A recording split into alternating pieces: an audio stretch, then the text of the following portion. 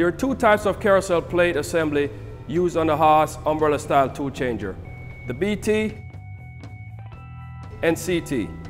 The difference between the two lies in the placement of the extractor fingers and the keys of the carousel plate. For CT configuration, place the extractor key on the carousel plate. Then install the fingers and bushing on top of the extractor key and install the spring and fastener.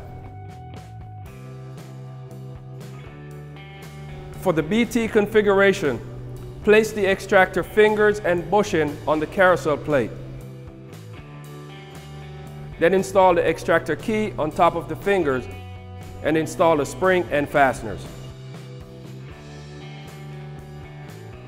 If the wrong tool holder is installed in the carousel, the carousel plate can be damaged during the tool change process due to the difference between the CT and BT tool change offset height.